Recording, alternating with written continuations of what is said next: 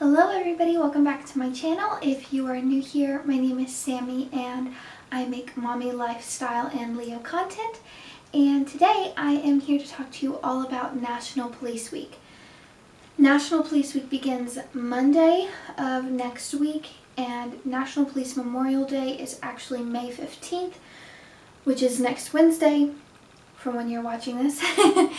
um, so I just want to talk a little bit about National Police Week for a minute. A lot of times National Police Week is confused with maybe National Enforcement Law, um, Law Enforcement Appreciation Day or uh, Thank a Police Officer Day or those types of situations and I see a lot of people getting things together to take into police stations to show appreciation and I see a lot of um, fundraisers to benefit communities and those types of things. Those are all wonderful things to do and it's so important to appreciate our police officers, especially those that are currently serving our communities and it's wonderful that we have holidays that are dedicated specifically to them. However, National Police Week is not for the officers that are living. It is actually in remembrance of the officers who have been killed in the line of duty and there seems to be some confusion around National Police Week even within the law enforcement community. So I just wanted to give you guys a bit of information about it, let you know kind of what it's about, and that way it might help inform you a little bit better. Um, National Police Week has actually been going on for about 30 years. This year is their 30th anniversary, and they have special memorial services across the country. My husband is actually presenting at a memorial service next week for um, two troopers that were killed in the line of duty here, as well as a, I think he was Sheriff's Department, Sheriff's Office, or maybe regular PD. I'm not positive on that, which department he belonged to. Um, but he will actually be presenting next week on May 15th at that memorial service. And I've only been to a memorial a memorial service for police officers I think one other time and of course, it's always a very somber affair. It's very serious. Um, if you are part of the police community, it hits very close to home, but it's so important that we remember them, we don't let their sacrifice go unnoticed, and that's what this whole week is really dedicated to. So I just want to give you guys a few ideas of something that you can do for um, the families of those who have lost loved ones in the line of duty. So my first idea is um, flowers directly to the family. Now, use your own discretion at this. Some people may not be comfortable with this. Some people may feel like you need to know the family a little better. Um, it's really up to how your own judgment is on that, what you are comfortable with. But flowers are always a really beautiful gesture, and they're something that I don't necessarily feel is too personal. You can just send them, write your family name on there, um, however you want to do it, and send those to the families directly. Something else you can do is if you know where the officers are laid to rest, you can take flowers directly there. Let's say you're not comfortable um, you know, dealing with the family directly, you can always place them on their tomb, their gravestone, or something like that. Um, I just think, I think personally flowers are a beautiful gift. They're a, wonderful for any occasion. and I know some people prefer to do something that lasts a little longer so that people know that they're thinking of them. Um, I have seen memorial blankets. I've seen memorial chimes, all of which are very, very beautiful. It's again, it comes down to what you're comfortable with and how you feel about giving something directly to the family. The next thing is just a personal handwritten card of sincerity, just letting the family know that you haven't forgotten.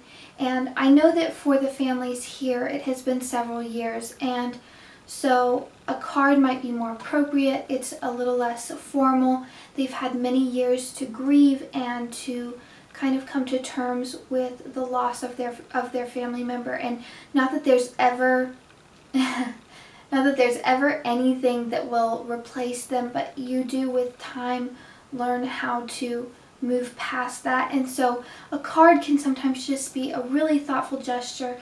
Just, I'm thinking of you. I, you know, we appreciate what your family has given for for our community and we love and appreciate you guys. And that's just something that's, it's very simple. You don't have to hand deliver it. You can mail it. You can drop it in their mailbox. It's not something that if you don't know them personally, you can't do. Um, and it's so, I don't know, there's something about a handwritten card or letter from someone that is really touching. It's a very personal gesture and I think it's a really beautiful way to commemorate um, the, the families and the officers that were lost. So I know that especially in the police community, we are faced with death basically on a daily basis. Um, maybe not we as the families, but our officers are. And so it can be really difficult to want to be a part of something that is so obvious about what they face every day. And it's something that we do as police wives and police partners. We try to kind of ignore that threat and put it off and not think about it. Um, but I encourage you, if you have a memorial service near you, to attend. Show the officers that are in attendance that you support them and that you are there for them. Show the families that you are thinking about them, that we haven't forgotten them.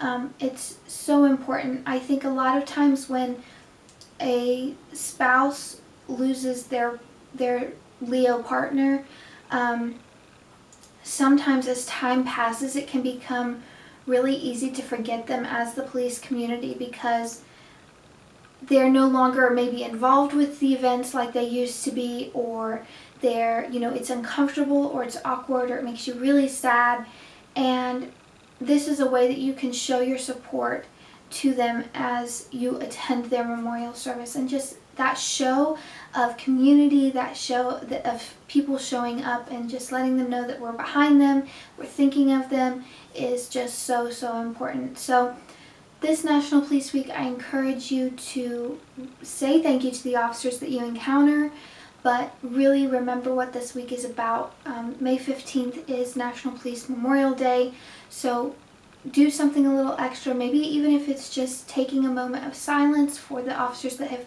been killed in the line of duty. And um, as always, just show the police in your community lots of love and lots of support and tell them thank you when you see them. Although sometimes, you know, we aren't seeing them for the best of reasons, so that's hard to think of. Um, but I just encourage you to remember what this week is about, teach your kids, inform the people around you so that they know too, and uh, that's all that I have for you today. So I hope that this video gives you some ideas, is helpful to you, maybe gives you some information about National Police Week.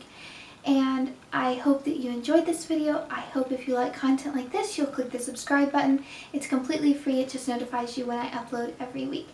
Uh, thanks so much for watching. Bye.